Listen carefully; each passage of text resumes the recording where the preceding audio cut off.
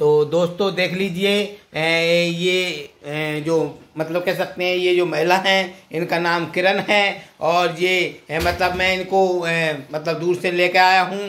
ये बहुत ज़्यादा दुखी हैं, आत्महत्या करने के लिए जा रही थी। तो मुझे बताइए ये बैग मैग लेके आप कहाँ जा रही थी और क्या हादसा हो गया आपके साथ?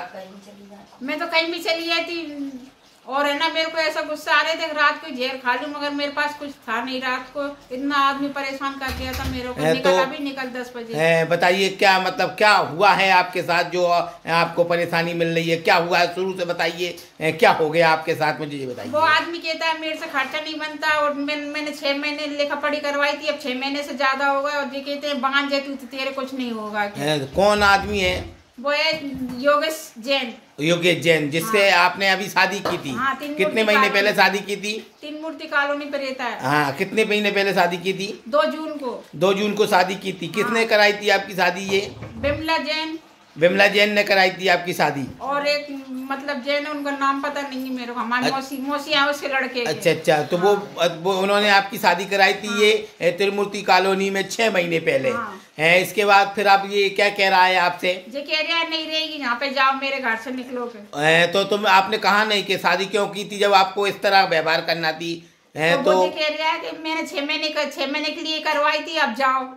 छह महीने के लिए शादी करी थी। पैसे दे रहे हैं। अच्छा मतलब कि छः महीने के लिए आपको शादी करी थी शादी को उसने मज़ाक समझ रखा हाँ, है इसीलिए आप दुखी होकर हाँ, आत्महत्या करने जा रही थी। हाँ, देख लीजिए दोस्तों मतलब कि ये किरण नाम है मैंने इनको बहन बनाया था लेकिन उन्होंने मुझे नहीं बताया और ये आत्महत्या करने के लिए जा रही थी। मेरी बीवी से इन्होंने कहा कि मैं यहाँ जा रही हूँ तो मेरी बीवी ने इनको यहाँ पे घर पे बुलाया और इनसे कहा कि आप कहीं मत जाइए आप यहाँ रहिए। लेकिन जो व्यक्ति है क्या नाम है उसका? योगेश जैन। योगेश जैन है। इनको बहुत ज़्यादा सताया है छः महीने की शादी की इनसे कह रहा है लेखा पढ़ी के कागज़ इनके पास हैं अभी आप अब आप थाने जाएँगे? जाएँगी? हाँ जाएँगे। देख लीजिए दोस्तों आप ये थाने जाएँगी उसकी रिपोर्ट लिखाने के लिए। थाने की कहती तो आप वो क्या कहता था आपसे? थाने की कहती थी तो। कहीं भी चली जाकर मेरा कुछ नहीं हो, होएगा क्या? देख लीजिए हाँ। दोस्तों क्या काम करते हैं वो? गांजा पीता है दिन भर। अच्छा हाँ। और हाँ। गांजा बेचते भी हैं? गांजा बेचते हैं पीते हैं बेचते हैं। देख लीजिए दोस्तों दिन भर गांजा बेचता है व्यक्ति। तो मतलब पुलिस से भी उसकी थोड़ी बहुत पकड़ होगी इसलिए वो आपसे कहता है कि कहीं चली हाँ, जा। और क्या?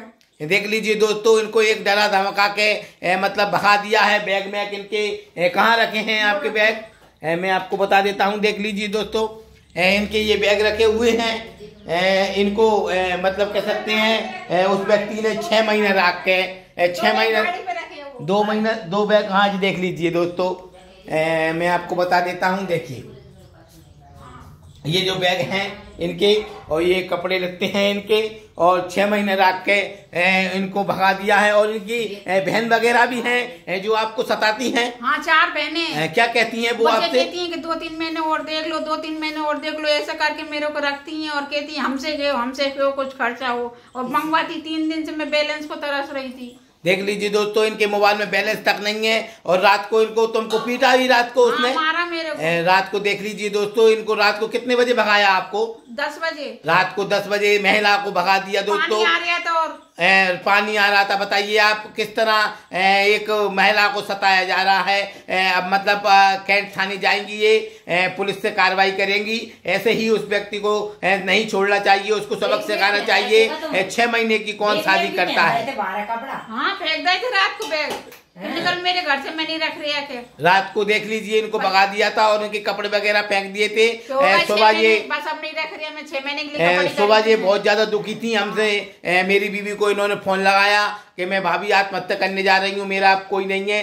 तो हमारी बीवी ने कहा कि आप हमारे यहाँ आइए भले ही दो जने नहीं सही तीन जने हो जाए, खाना की व्यवस्था करेंगे, लेकिन देख लीजिए इस महिला की प्लीज़ दोस्तों सहायता कीजिए इनको कानून की मदद मिलना चाहिए मैं अपनी बीवी को भेजूँगा कैंट थाने इनकी रिपोर्ट डलवाने के लिए, और वो जो क्या नाम है उनका?